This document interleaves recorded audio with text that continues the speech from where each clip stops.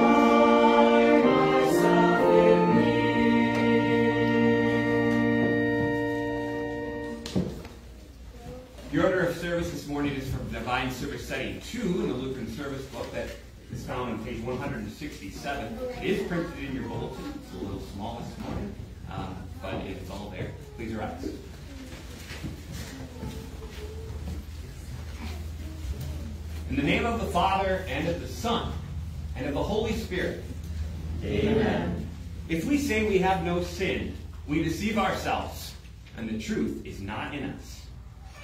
But if we confess our sins, God, who is faithful and just, will forgive our sins and cleanse us from all unrighteousness. Let us then confess our sins to God our Father.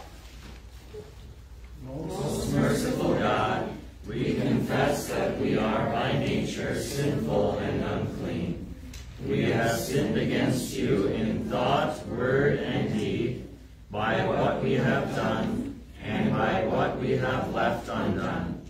We have not loved you with our whole heart. We have not loved our neighbors as ourselves.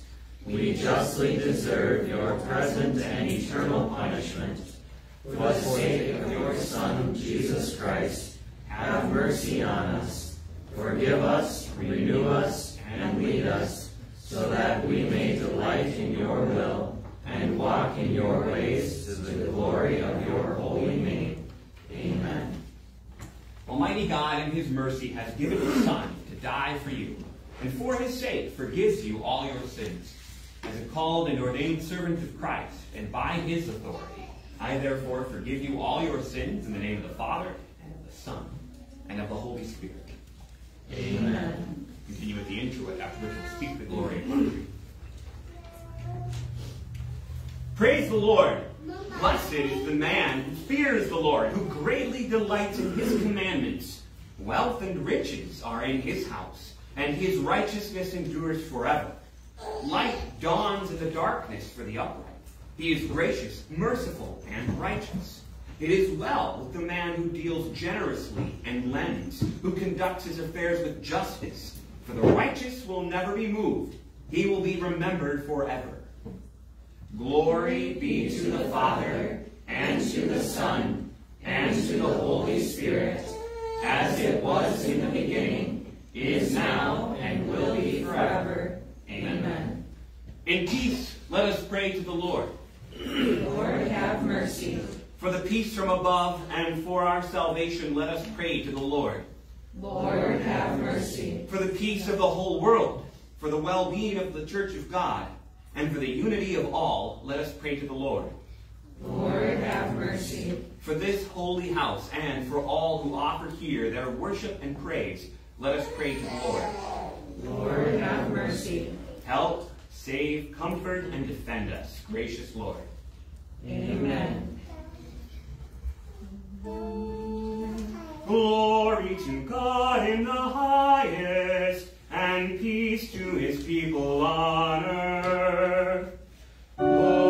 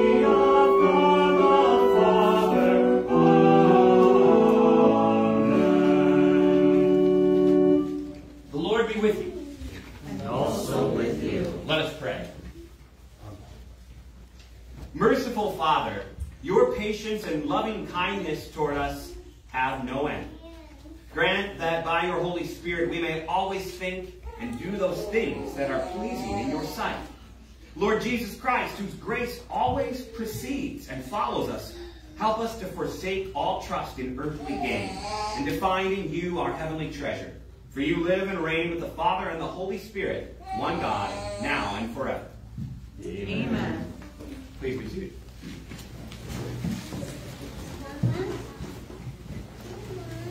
Our Old Testament reading this morning is from the prophet Amos, chapter 5, verses 6 through 7 and 10 through 15. Seek the Lord and live, lest he break out like fire in the house of Joseph and it devour, with none to quench it for Bethel. O you who turn justice to wormwood and cast down righteousness to the earth. They hate him who reproves in the gate, and they abhor him who speaks the truth. Therefore, because you trample on the poor, and you exact taxes of grain from him, you have built houses of hewn stone, but you shall not dwell in them. You have planted pleasant vineyards, but you shall not drink their wine. For I know how many are your transgressions, and how great are your sins, you who afflict the righteous, who take a bribe, and turn aside the needy in the gate. Therefore he who is prudent will keep silent in such a time, for it is an evil time. Seek good and not evil, that you may live. And so the Lord, the God of hosts, will be with you, as you have said. Hate evil, and love good, and establish justice in the gate. It may be that the Lord, the God of hosts, will be gracious to the remnant of Joseph. This is the word of the Lord. Thanks be to God. We'll read uh, verses 12 through 17 of Psalm 90 responsively. So teach us to number our days. That we may get a heart of wisdom. Return, O Lord, how long? Have pity on your servants. Satisfy us in the morning with your steadfast love. That we may rejoice and be glad all our days. Make us glad for as many days as you have afflicted us. And for as many years as we have seen evil. Let your work be shown to your servants. And your glorious power to their children. Let the favor of the Lord our God be upon us and establish the work of our hands upon us. Yes, establish the work of our hands. Our epistle reading is from Hebrews chapter 3, verses 12 through 19. Take care, brothers, lest there be in any of you an evil, unbelieving heart, leading you to fall away from the living God. But exhort one another every day, as long as it is called today, that none of you may be hardened by the deceitfulness of sin. For we share in Christ, if indeed we hold our original confidence firm to the end. As it is said, Today, if you hear his voice, do not harden your hearts as in the rebellion. For who were those who heard and yet rebelled? Was it not all those who left Egypt led by Moses? And with whom was he provoked for forty years? Was it not with those who sinned, whose bodies fell in the wilderness? And to whom did he swear that they would not enter his rest, but to those who were disobedient? So we see that they were unable to enter because of unbelief. This is the word of the Lord. Thanks be to God. Please rise for the gospel reading. Alleluia. Bear one another's burdens, and so fulfill the law of Christ.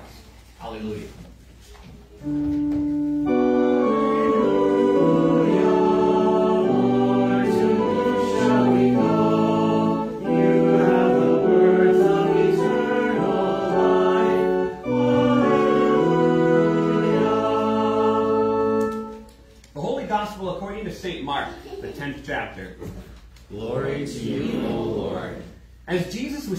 On his journey, a man ran up and knelt before him and asked him, Good teacher, what must I do to inherit eternal life? And Jesus said to him, Why do you call me good? No one is good except God alone. You know the commandments. Do not murder. Do not commit adultery. Do not steal. Do not bear false witness. Do not defraud. Honor your father and mother. And he said to him, Teacher, all these I have kept from my youth. And Jesus, looking at him, loved him and said to him, You lack one thing. Go, sell all that you have and give to the poor. And you will have treasure in heaven. And come, follow me. Disheartened by the saying, he went away sorrowful, for he had great possessions. This is the gospel of the Lord. Praise to you, O Christ. Please be seated. We'll continue with our next hymn in 708, which is the children's hymn this week.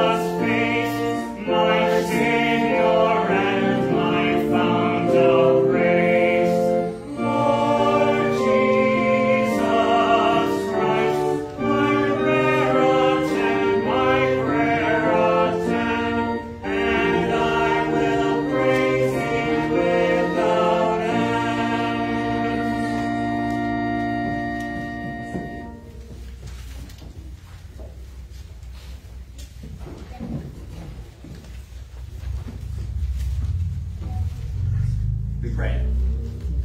Lord, to whom else shall we go? You alone have the words of eternal life. Amen.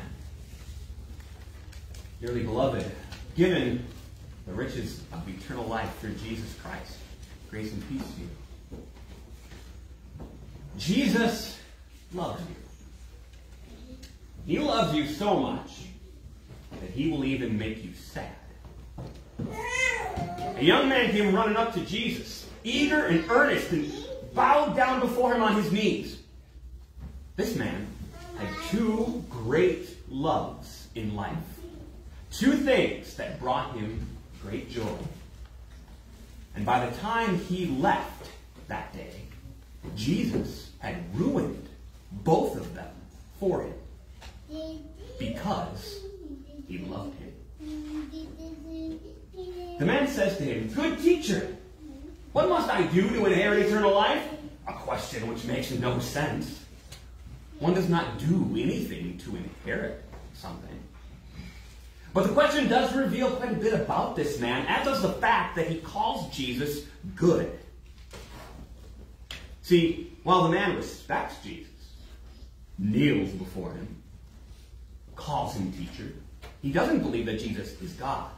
If he believed Jesus was God, he wouldn't be on his knees, he would be on his face on the ground. And if Jesus isn't God, then Jesus isn't good. For no one is good except God alone. Bev was an extremely self righteous person. She went to church every day. She knew her Bible front to back, but her religion was to her just an excuse to feel self righteous and judge everyone else.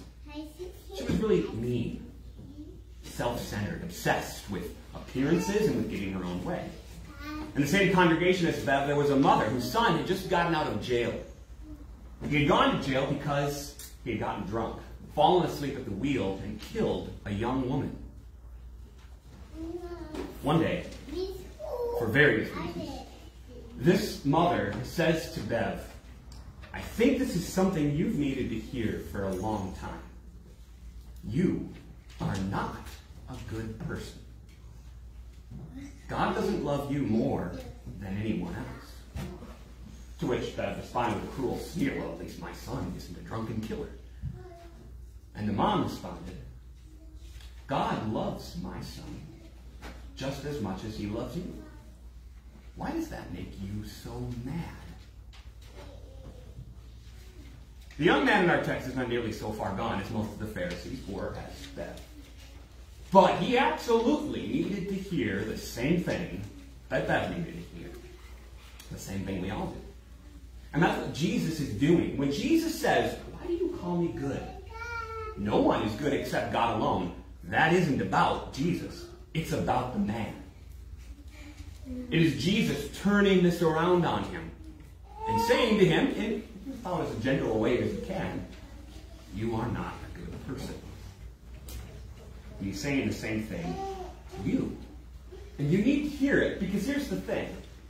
We are desperate to believe that we are good. But Jesus loves you enough to tell you that you are not. See, it's almost like you and I have this evil conspiracy theorist in our hearts. That's kind of what our sinful nature is. You ever try talking to somebody who's really hung up on some bizarre idea? You know, like somebody who thinks the earth is flat?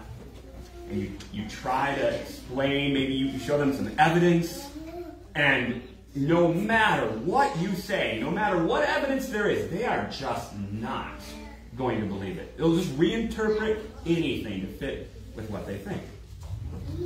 That's a part of our sinful nature. We can all be like that sometimes.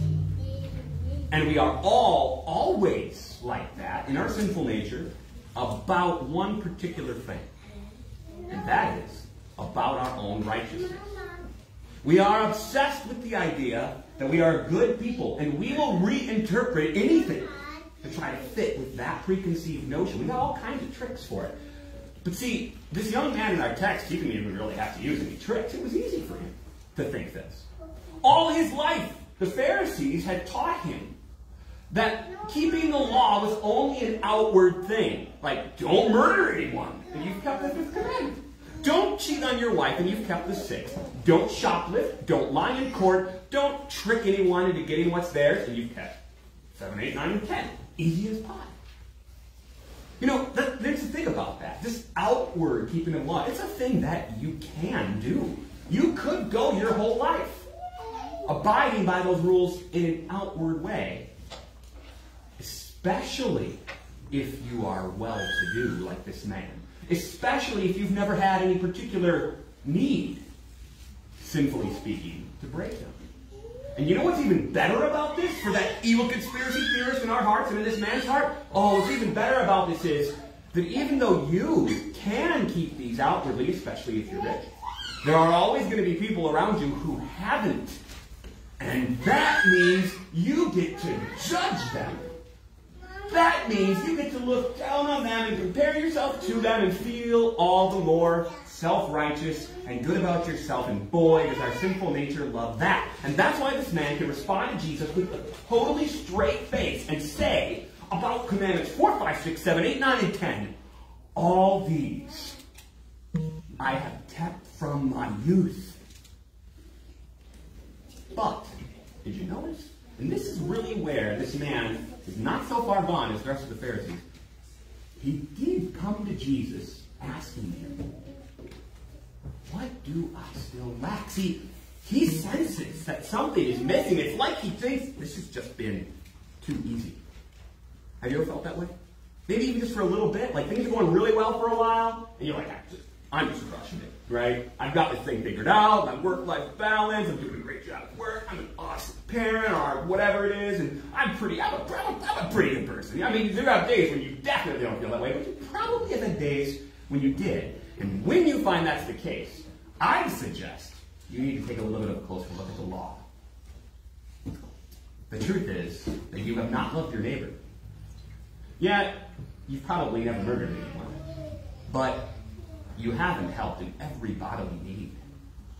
Maybe you haven't cheated on your spouse, but have you had lustful thoughts in your heart? Sure, probably haven't lied in court. Maybe you probably have never even been in court. But the eighth commandment is more than that. You've probably gossiped, made fun of people behind their back, and you've definitely always tried to come out on top, right? Get the best deal, the best price, the best outcome, the best portion for you. And why? Because you are not a good person, and neither am I.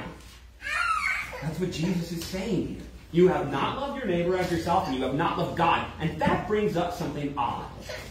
Did you notice? Jesus pointed this man to the law, but he skipped the first three commandments. The ones that have to do with loving God. He told the man, go love your neighbor. He didn't say anything about God Oh, because he's saving. Now, when the man says, Yeah, I've kept all these, Jesus says to him, Okay, one thing you're lacking. Go sell everything you have and give it to the poor. You will have treasure in heaven. Then, come on and follow me. This is the same deal that he offered his disciples. He told them to leave everything and follow him. And in the case of uh, Peter and John, they, they, literally, Peter and James and John and Andrew, they, they left their dad in a boat with the nets and came after him.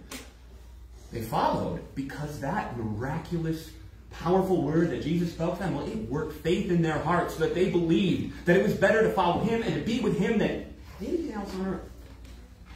This man does not do that.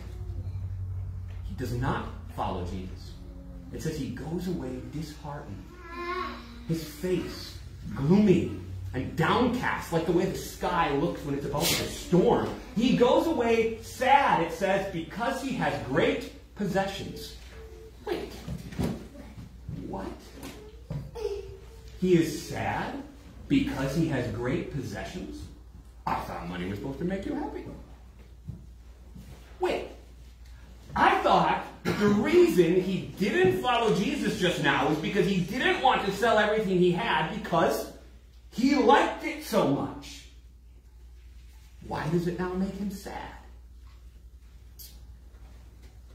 Do you see what Jesus has done?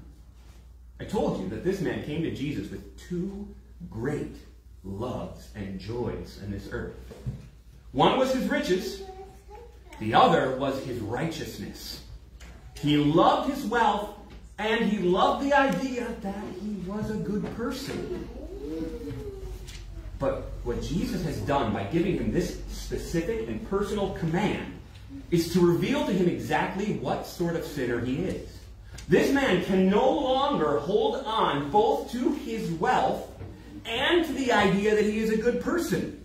They are now self contradictory. He has received a specific personal command to love God more than his money, and he does not.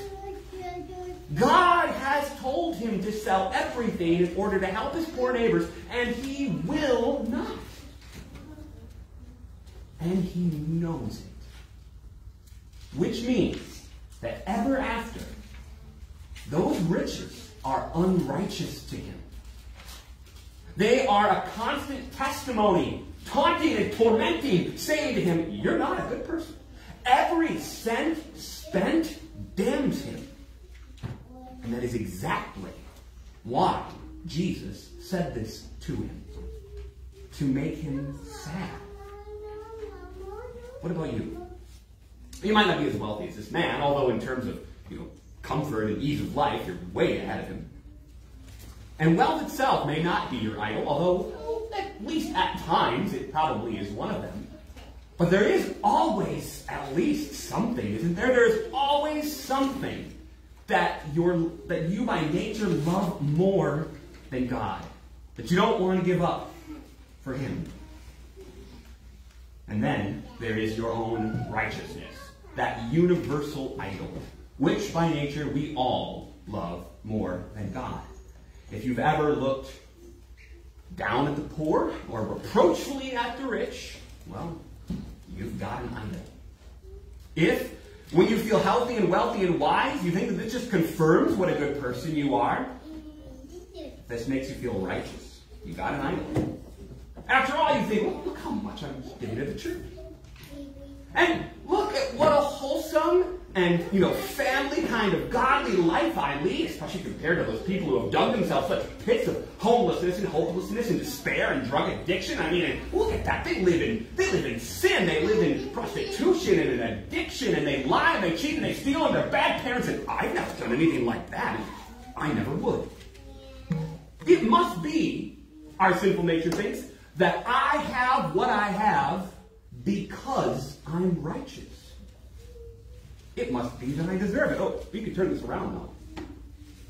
If you're ever poor, or if you're just thinking about people who have more than you, we quickly reinterpret that data to fit our idea of self-righteousness too. Like, look at those, look at those stingy, self-righteous jerks. They think they're so much better than me because they have more than me. It's not even fair. Why do they have more than I do? They, they don't work as hard as I do. They probably never really worked a day in their life. They probably got by cheating and lying, and, and, or somebody just gave it to them.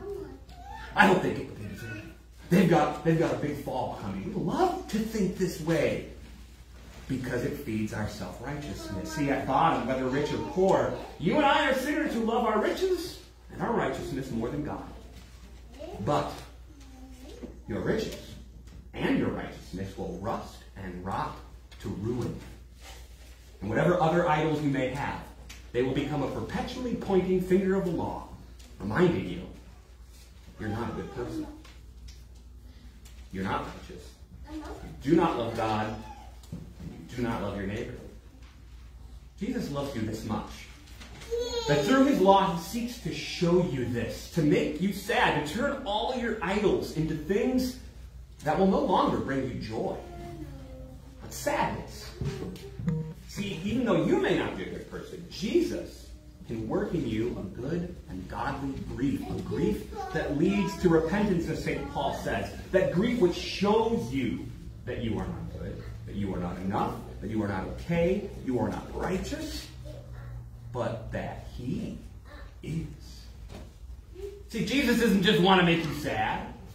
He isn't trying to make you sad just to make you sad, but in order to give you the hope and joy of faith in Him, to give you His own goodness.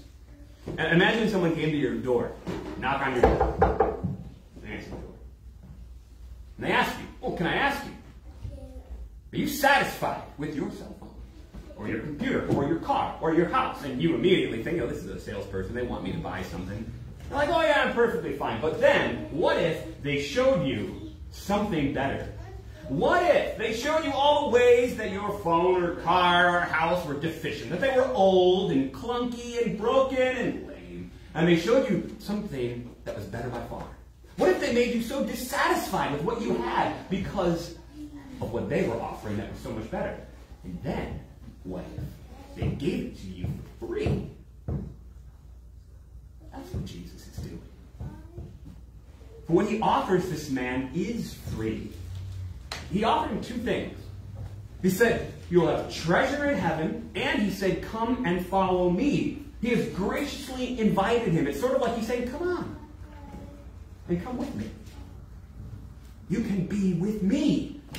The man has asked what he must do to inherit eternal life, and Jesus is saying, Come on and see what I, what I will do, so that you might inherit life. Come see what I will give, so that you might be free. Come see what I will suffer, so that you might be saved. Come see how poor I will become, that you might have riches of heaven. Come see how low I will go, that you might be exalted, and how wretched I, that you might become righteous. See how I will be hated, so you will be loved. Come and see my sorrows to give you joy. Come and see my abandonment to give you the adoption as sons. Come see my blood, that you might be clean and that your sins might be forgiven. Come see my cross and my death and my grave, that you might have life. Come give up everything. Give up your righteousness, because mine is better. It is yours freely. Come, leave behind your riches, your idols, your earthly joys and pleasures. I got something greater. Treasures in heaven. Where moth and rust do not destroy, where thieves do not break in and steal, for where your treasure is, there your heart will be also. And what Jesus is saying to you is, I am your treasure. I am your heart. I am your love and your joy and your riches and your righteousness. He loves you enough to make you sad for a little while, that he might make you glad forever. He loves you enough to make you despair of your own works, so that you might trust alone in his. He loves you enough to proclaim the law to you, that he might give you the glad news of the gospel, of the forgiveness of sins in his name. He loves you enough to tell you that you're not a good person, so that you might believe in the one alone who is, in Jesus Christ, both God and man, and from him alone receive all that is good. Nothing can compare to this. No works of man can compare to Jesus' works for man. No treasure on earth is anything compared to his golden store. The light of his love makes all light and love on earth seem like darkness by comparison, and so nothing also could compare to the treasure that he promises you. Nothing compares to the untold rolling ages of beauty and bliss that he will usher in when he comes again. To the inheritance of the saints in the light of his glory. To the fragrance of his name. Where joys bloom eternal in the sunlight of his splendor. Where all that is good endures where there will be sweet with no bitter, and flowers that bear no thorn, where they will be only good and all good forever. What can compare to that? What can compare to Him? What can compare to His love? Yes, Jesus loves you enough that sometimes He makes you sad. But what is more, He loves you enough, and His love is enough to make you glad forever in heaven's endless day. Amen. And now the peace of God which passes all understanding, keep your hearts and minds in Christ Jesus. Amen. Please rise. We'll confess our faith in the words of the Apostles' Creed.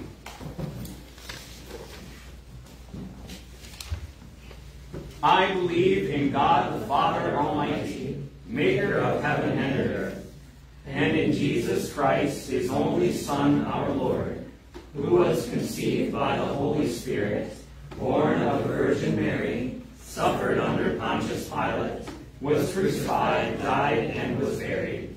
He descended into hell. The third day he rose again from the dead.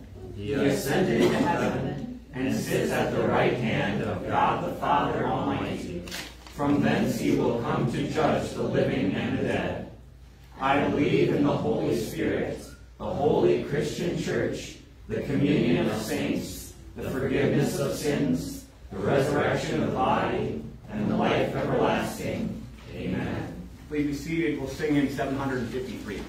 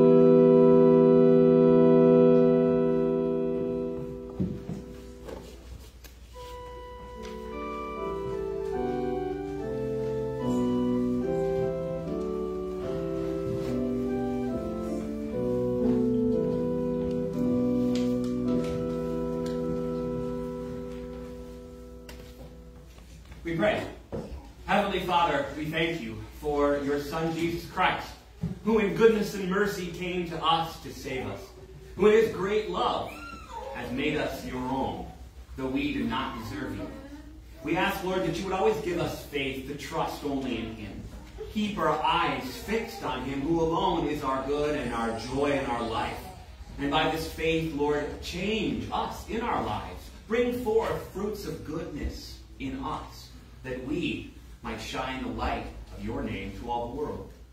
Grant to each of us in our vocations the wisdom and the faith and the boldness to be witnesses of your gospel. Give wisdom and love to parents, obedience, and growth and strength to children.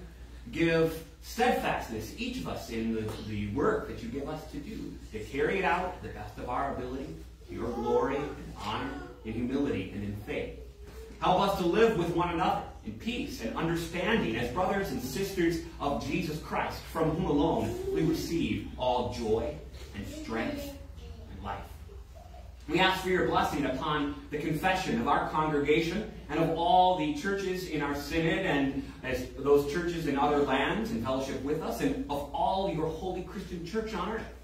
that the gospel of salvation, which you proclaim through imperfect people like us, through evil people even like us, might go out through all the world and bring many to believe in you, that they might share in that inheritance of the saints in light. We ask, Lord, for your blessing upon all of those who are hurting, who are sick, or sad, or weary, or guilty, or troubled, or depressed. Give to all of them that joy which alone comes through the goodness and mercy of Jesus Christ, our Savior. And grant, if it is your will, healing to all those who are hurting in their bodies. We ask especially for our brother Don Bickham and for Kaylee Ewing that in Don's case, you would uh, grant the doctor's understanding of his situation and healing in his body, and especially as you have promised continued faith in his heart. And in Kaylee's case, that you would continue to grant her further strength as she grows to regain some of what was lost in her sickness. We ask, Lord, that you would bless each one of us with the joy of your gospel and the boldness to share it with others and that you would bless all those among us who are not able to be with us here today, especially Gloria Longwitz and Carol Gilbertson, John and Deanna Hersberg. We ask all these things, confident that you will hear us and answer through Jesus Christ, our Savior, in whose name we also arise. And join to pray the prayer that you have taught us. Our Father, who art in heaven, hallowed be thy name. Thy kingdom come, thy will be done on earth as it is in heaven.